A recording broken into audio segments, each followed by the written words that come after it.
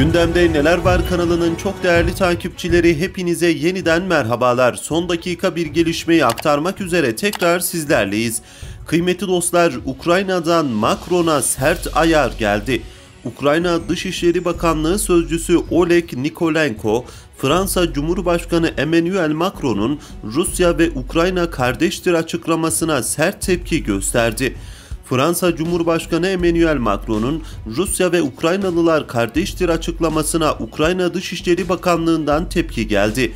Ukrayna Dışişleri Bakanlığı sözcüsü Nikolenko yaptığı açıklamada Rusya ve Ukrayna tarihsel bir takım sebeplerle birbirine yakınlar.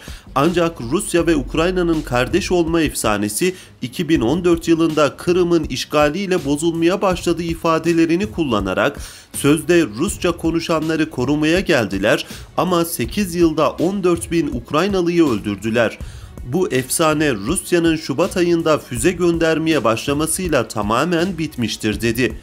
Rusya'nın Ukrayna'ya yönelik saldırılarına değinen Lukalenko, kardeş dediğin çocukları öldürmez, insanları kurşunlamaz, kadınlara tecavüz etmez ve kardeş olarak gördüğü milletin evini yıkmaz.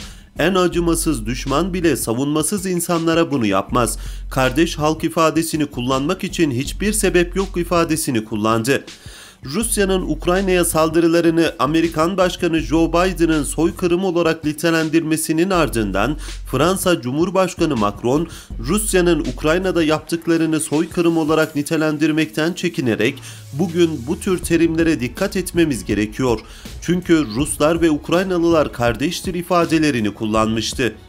Ukraynalılar Fransa Cumhurbaşkanı Macron'u eleştirmek için yeni bir kelime türetmiş, Macron'un ardından ilham alınan Macronate yani Macronlaşmak fiilini kullanmıştı.